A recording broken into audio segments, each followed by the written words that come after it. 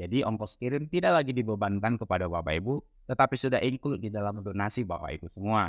Nah, kalau sudah dalam bentuk Bible paper Bapak Ibu, maka Alkitab terjemahan ini kita akan bagikan secara gratis kepada kelompok-kelompok murtadin yang ada di Indonesia maupun yang ada di bangsa-bangsa atau di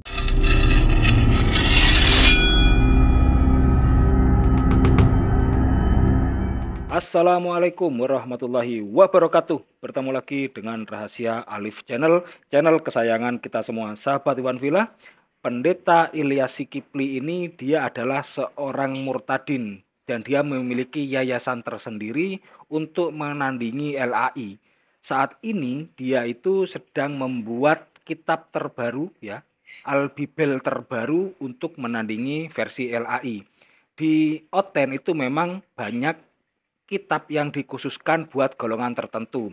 Misalkan Alkitab atau Albiblos untuk anak-anak khusus tersendiri. Saya tidak tahu apakah di dalamnya itu terjemahannya memang dibuat seperti apa yang bisa ditangkap oleh anak-anak atau bagaimana, saya tidak tahu. Ada juga Bibel yang khusus orang Nigeria. Ada Bibel yang khusus buat LGBT dan kali ini si Ilyas Sikipli ini dia membuat Bibel khusus murtadin. Padahal itu Bibel diambil semua dari kitab perjanjian lama sampai perjanjian baru semuanya sama. Hanya saja ini khusus murtadin. Ya pastinya akan ada perbedaan antara versi LAI terjemahan baru yang kedua dengan yang khusus murtadin ini. Perbedaannya di mana kita sih nggak tahu. Tetapi yang jelas buat apa mereka membuat kitab dengan berbagai banyak versi dan dikhususkan untuk golongan tertentu Ya, mari kita dengarkan yang disampaikan oleh si Kipli Ilyas ini tadi ya. Semua, puji Tuhan, Alhamdulillah, Alkitab terjemahan khusus Murtadin sudah selesai. Pekerjaan lebih kurang selama empat tahun Bapak Ibu akhirnya membuahkan hasil dengan segala keterbatasan dan kekurangan sumber daya, baik sumber daya manusia maupun sumber dana. Kitab Injil Allah atau yang kita sebut dengan KIA adalah terjemahan Alkitab khusus Murtadin di tangan saya ini adalah contoh masterpiece dari Alkitab terjemahan ini Bapak Ibu. Dan ini cukup tebal yaitu 1135 halaman. Dan kita bagi menjadi dua kolom, yaitu satu kolom untuk terjemahan bahasa Indonesia yang sudah dikontekstualisasi, dan satu kolomnya lagi adalah teks Yunani. Dan ini masih menggunakan kertas HPS Bapak Ibu, jadi sangat tebal sekali. Nah, dukung dan doakan Bapak Ibu bahwa kita diberi kesempatan di masa yang akan datang mencetak Alkitab terjemahan ini dalam bentuk Bible paper, yaitu kertas yang khusus dipakai untuk Alkitab sehingga lebih tahan lama dan lebih kuat serta lebih tipis, tidak setebal kopi masterpiece Alkitab terjemahan yang ada di tangan saya ini Bapak Ibu. Nah, bagi Bapak Ibu yang mau mendapatkan kopi masterpiece Alkitab terjemahan ini, silakan mengisikan form yang sudah saya buat pada kolom deskripsi. Nah, kami minta maaf Bapak Ibu karena belum bisa memberikan Alkitab terjemahan ini secara gratis karena kita sangat kekurangan dana. Nah, Bapak Ibu yang berdonasi untuk mendukung pelayanan Yayasan Dwi Pranata Remaja, Anda berhak untuk mendapatkan kopi masterpiece Alkitab terjemahan ini. Nah, apabila sekali waktu Alkitab ini kita cetak dalam bentuk Bible paper, maka kami juga akan mengirimkan kitab terjemahan ini dalam bentuk Bible paper ke alamat Bapak Ibu semua, sesuai dengan yang Bapak Ibu isi pada form yang sudah saya buat di kolom deskripsi. Dan itu sudah include dengan ongkos kirim Alkitab ini ke alamat Bapak Ibu semua. Jadi ongkos kirim tidak lagi dibebankan kepada Bapak Ibu, tetapi sudah include di dalam donasi Bapak Ibu semua.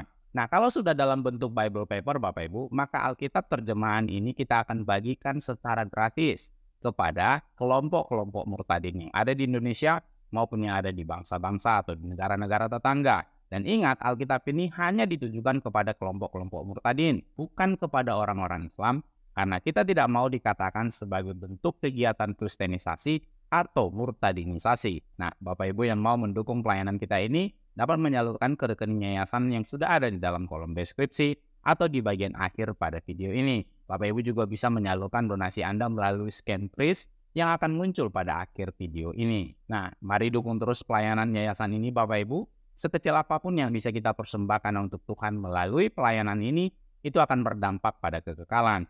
Kita tidak akan kehilangan upah untuk itu. Demikian yang bisa saya sampaikan Bapak Ibu. Tuhan Yesus kiranya memberkati pelayanan kita ini bagi kemuliaannya di Indonesia maupun di bangsa-bangsa. Tetap setialah di dalam Tuhan.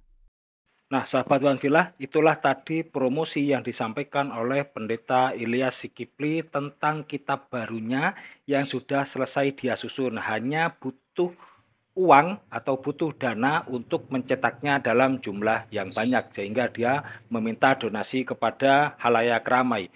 Ya kita tahu dia pernah mengungkapkan dirinya, jati dirinya bahwa dia adalah dulunya seorang murtadin dan dia itu adalah membaca semua atau banyak tafsir-tafsir Al-Quran dan banyak membaca kitab-kitab hadis seperti yang disusun rapi di belakangnya sebagai background itu tadi ya sahabat warfila tetapi ya itu hanya klaim ya tapi bisa saja memang dia itu adalah seorang murtadin dan saya anggap dia ini keren ya. Setelah murtadin, dia kemudian mendirikan yayasan yang dia bangun sendiri yaitu Yayasan Dwi Pranata Atmaja. Yang di mana yayasan ini adalah gunanya untuk menciptakan bibel baru khusus murtadin. Orang PD itu sih bagus ya. Orang PD itu memang selalu bagus, tetapi dia tidak memperhitungkan matematisnya. PD dia menciptakan Bibel khusus murtadin ini seolah-olah murtadin di Indonesia ini banyak gitu ya. Dia mungkin berpikir bahwa dengan menciptakan versi murtadin, dengan menciptakan kitab versi murtadin itu dia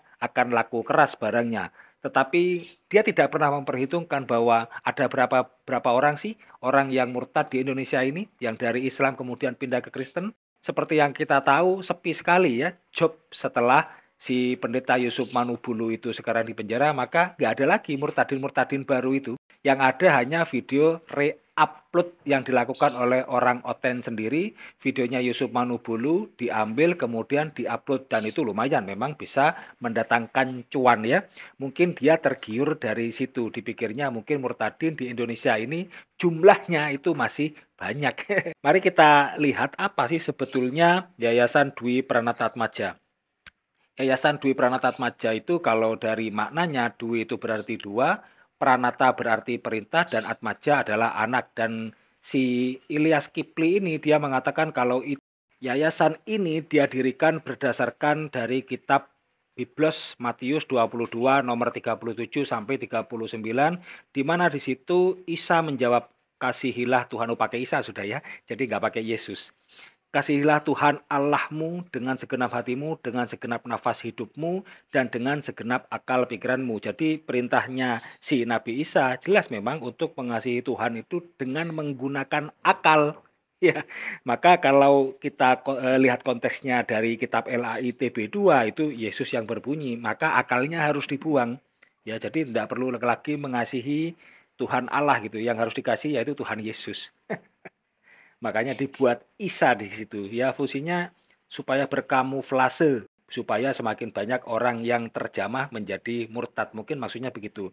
Nah, kita beralih kepada visi dan misi. Dia itu menuliskan ada sekitar enam visi dan misi di dalam yayasannya itu tadi. Yang paling unik adalah yang terakhir kita baca dulu yang keempat ya, mendidik sebanyak mungkin orang untuk tetap mempertahankan iman dan keyakinannya. Ya ini yang keempat ya.